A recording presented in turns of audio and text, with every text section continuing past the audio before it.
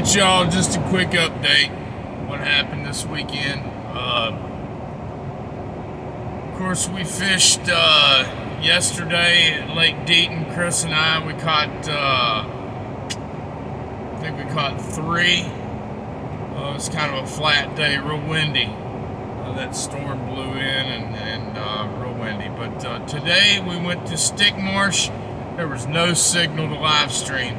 I did not record uh, just because I didn't want to deal with it. I wanted to have fun, and uh, everybody will have to catch Shiner's video.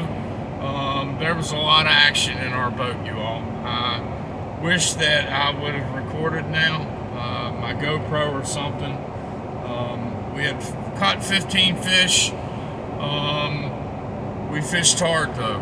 Uh, shiners, caught more on shiners. Caught one on artificial Carolina rig, uh, black or dark purple lizard.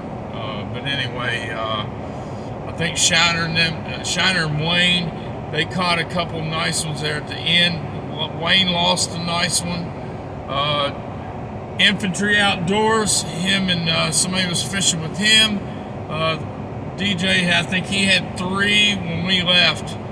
And uh, so Clint and I caught, Clint caught all the fish today, and normally he does.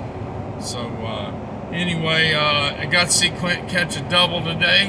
Um, had a fish on each pole. Um, he, he, held one with his foot and reeled the other one in, uh, and then reeled the other one in. I grabbed it out of the net for him. Uh, we'll show you some pictures later. But uh, anyway, had a good time this weekend. Sorry I didn't get any video for you uh, today, um, but you'll just have to catch a little bit of shiners. Uh, he'll do a video. C Pro Wayne fished, excuse me, C Pro Wayne fished with uh, with shiner. Uh, he'll have, I think C Pro Wayne caught at least four or five by the time we left. He'll have some video. Um, and then, like say, infantry will have a little video. So uh, we'll put all those out. Uh, look for this coming weekend. We're going to be uh, our first stream uh, StreamYard. Uh, we're going to do a live panel call-in. Um, and we got a few people. I'm almost positive they're going to call in and sit in with us and have a crazy old time. But anyway, uh, y'all, catch up with you this week. We'll see y'all later.